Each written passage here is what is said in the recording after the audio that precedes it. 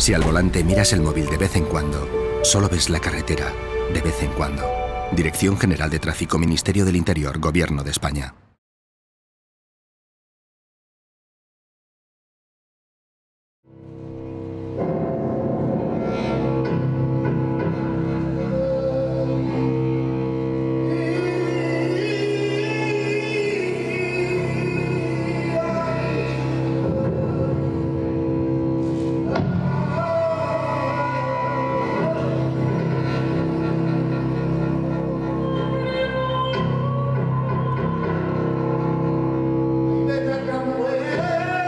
Eva vuelve a embaucar al público del Rebellín.